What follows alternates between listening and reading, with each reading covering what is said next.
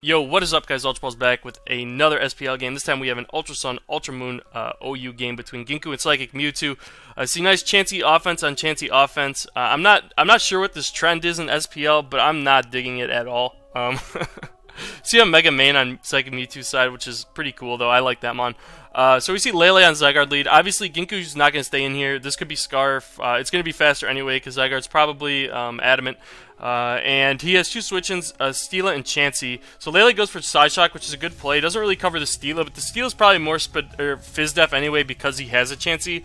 So I guess Chansey was a fine play there. But now uh, Ginku should um, should probably soft-boiled.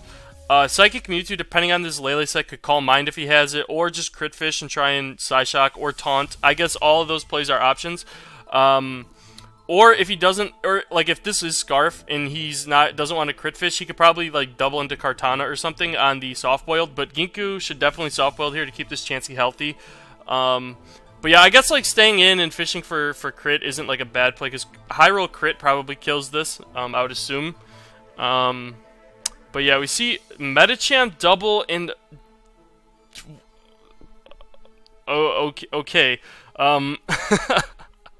I don't like that play at all. I, I don't think Psychic Mewtwo lost too much from staying in and clicking Psyshock. I don't get why you'd ever risk that, because uh, Medicham killed every single Mon. Um, yeah, especially because, like, Psychic Mewtwo had the Lele, too, so, like, the terrain support was gonna help a lot, because, like, he could pretty much spam, like, Zen Headbutts in terrain, if you, like... Yeah, I don't, I don't agree with that play at all. Alright, so Kartana Smart Strikes, think so. I think Psychic Mewtwo expected this to be Scarf, right? Which is why I laid up a T Spike. But now he's in some trouble because this is probably going to kill something.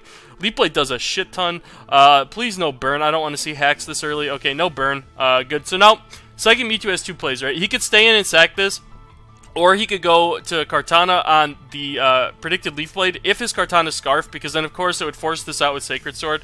Uh, also a risky play though. I don't know if you want to risk the Kartana because Kartana on Psychic Mewtwo side looks like it could if it's able to like if, if the Steel is able to get whittled down, it put in a bunch of work. So I agree with not risking the Kartana there. Uh, he goes Manectric, right? So this Manectric will do two things. It'll either Volt Switch or it will uh, Fire Move. So um, I agree with Landers here because I'm assuming that this is Scarf Lando, seeing that the cart was uh, SD. This pretty much has to be Scarf. So we do see the Flamethrower come out. And, okay, so Skull didn't burn, but the flamethrower did. that sucks.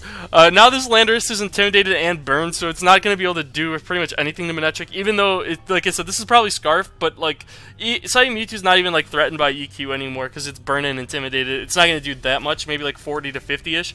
So I think, like, Psychic Mewtwo could stand and click HP Ice here, and if this is Scarf Lando, uh, Defog would have to be on this if he has it because the the Kartana revealed Steel move, right? So the Kartana is 3 attack SD. So I feel like if you're Ginku, you probably want to get the T-Spike off the field if you do have Defog on this. Uh, and like I said, like chipping this with EQ for 40, that's not the play because like you're just gonna die, and I don't think Psychic Mewtwo needs health on this for anything. So we do see the defog, which is better in the long run to help Chansey and Zygarde, but now Landorus just dies, and obviously that burn is like pretty lame. Um, yeah, for sure. Now we see Chansey come out, and it's gonna Chansey will get the chance to soft boiled here because it didn't take it on turn one. Um, and outside of Mewtwo will probably go into cart hard cart would probably be my uh, what I think he should do. Yeah, we see the Kartana come out. Um, and outside of Mewtwo, we don't know. This could be SD or it could be Scarf. Um, go straight for Knock. Uh, Knock was good. I mean, Ginku was never staying in with Chansey there anyway. But even if he did, like Knock covered or Knock would have been amazing on Chansey, even better on the Steela. So yeah, Knockoff was a fine play there. He went like this doesn't necessarily mean that it's not SD Kartana because um, he probably didn't want to SD there with a full health Steela that's probably very physically defense defensive. So I feel like knockoff there to take off the lefties was the best play regardless. Uh, but yeah, like I said, it doesn't necessarily confirm that the Kartana Scarf, like the Lele still could be Scarf. Um, yeah, so now we see the Leech Seed come out on the on the Celesteela. Or, I'm sorry, on the Chansey, and uh, but Steela having no leftovers is going to make this really hard for Ginku because that Kartana, every time it comes in, is going to be able to click Sacred Sword now and just chip down the Steela. Uh, it's going to be really hard uh, to keep that to keep that Kartana at bay now. We see a SD and a U-turn. That was definitely Psychic Mewtwo's best play. Um, and now he just brings in main, right? Yeah, that's why I don't necessarily agree with Ginku SDing there. I think hard leaf blading would be better because it gets some damage off on the on the Landorus, which means it's not going to be able to switch into Kartana later.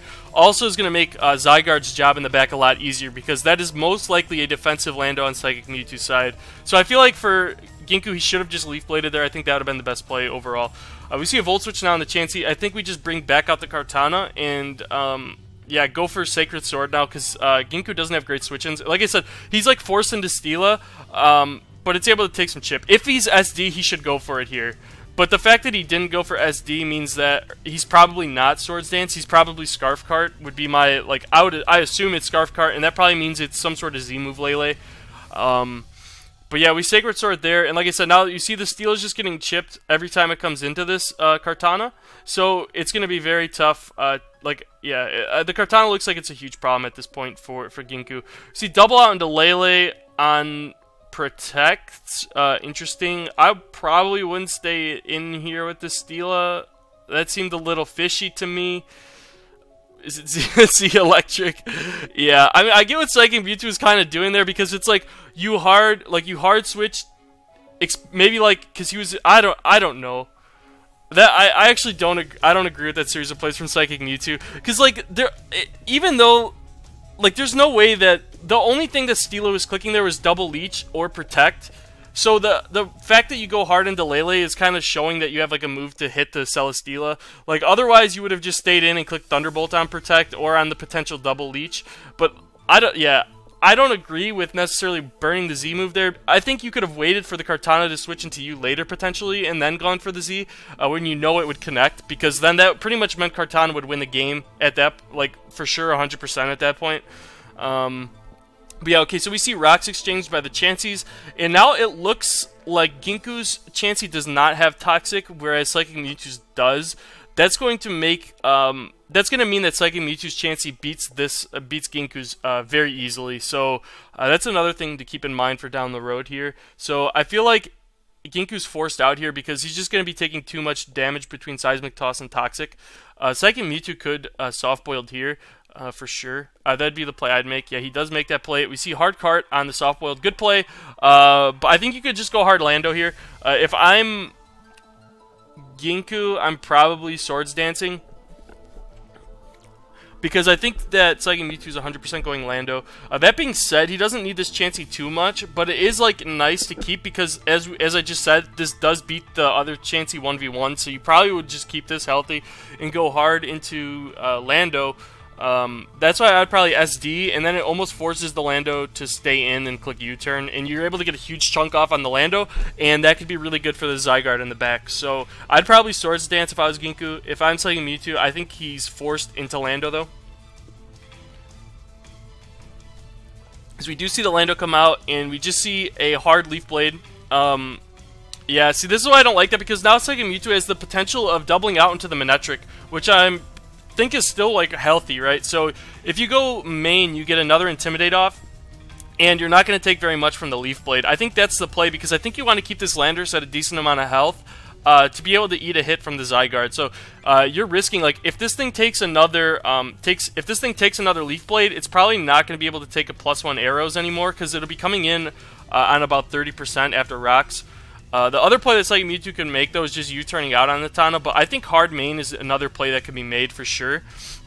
We just do see a U-turn, but now, like I said, this Landorus doesn't uh, take a hit from the Zygarde anymore, which could definitely prove problematic. Uh, because this Landorus also can't OHKO Zygarde, so it means Zygarde will be able to get to, like, uh, should be able to get to plus plus one, plus two speed, which will outspeed the, the Kartana. But as long as Psychic Mewtwo keeps the Kartana healthy, which I'm pretty sure it hasn't taken any damage yet, uh, the, the Zygarde's not going to win yet. So just important to keep in mind, though, that this Landorus can't take a hit from Zygarde anymore, uh, which could definitely come back to bite Psychic Mewtwo. That's why I said I probably would have went hard Kartana, or I mean hard um, there, because you get the another Intimidate off. You don't need health on main for anything. You force out the, the Kartana anyway. But yeah, we see a Sacred Sword here and a crit, which, I, I mean, any extra damage off on the Steel is bad for Ginku, because he needs this healthy, for sure. Uh, I think he needs to Leech Seed here, for sure. I don't think Psychic Mewtwo should ever stay in here, because like I said, this is the win condition, 100%. Uh, cleaning up with Sacred Sword seems like it's going to be pretty easy, especially if Celesteela gets is, like, eliminated, he'll clean up with or yeah, I guess the Kartana's still there. But yeah, Sacred Sword is looking really deadly from Psychic Mewtwo side. So I don't agree with Flamethrowing. Like I said, I think like Ginku needed to Leech Seed to keep this healthy because uh, as soon as now now this thing's forced out and then it's just gonna die to the next Sacred Sword. So um, yeah, this look, game's looking very good for Psychic Mewtwo. We see switching to Zygarde, anticipating Volt Switch.